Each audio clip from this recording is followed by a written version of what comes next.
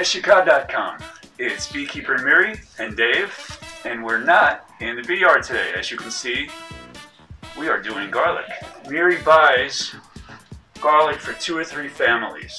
At the open market, we have farmers truck markets, like I'm sure near where you live, wherever you may be. And it's so much more inexpensive and so much more satisfying to have your own garlic at the house. And it tastes incomparably better than the stuff that's usually Chinese garlic in little knit bags sold all over the world. And as well, no vampires. so I'll let Miri take it from here. Remember, no vampires. No vampires. No, definitely not. No vampires. So you start with three pretty large heads. I've already cleaned all this garlic you see behind me. It comes, you know, with all this leafy, leafy stuff, some dried, some not very dried, and a lot of dirt.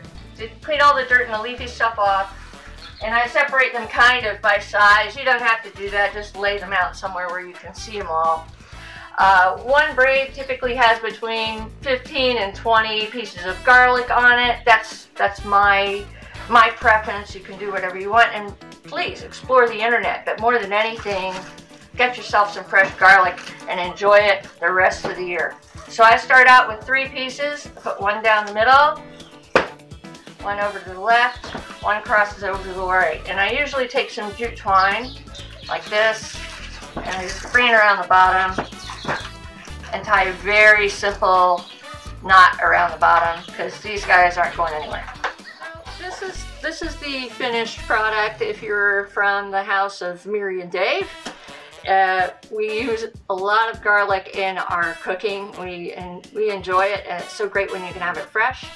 As we, our favorite way to have it is roasted, but we'd really like to hear about your favorite way to use garlic, or if you've got a different way of braiding garlic, I'd love to know about it.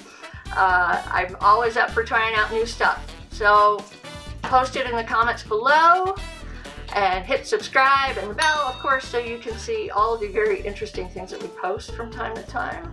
And we look forward to having you as part of our community.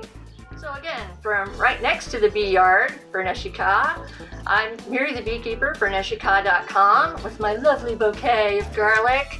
Uh, please join our wonderful community. We've got some fantastic and interesting people that participate in our community. So I encourage you to subscribe, visit our website, see some of the very interesting and intriguing things that we do from time to time. At least we think so. And we hope to see you next time. Thanks for stopping by.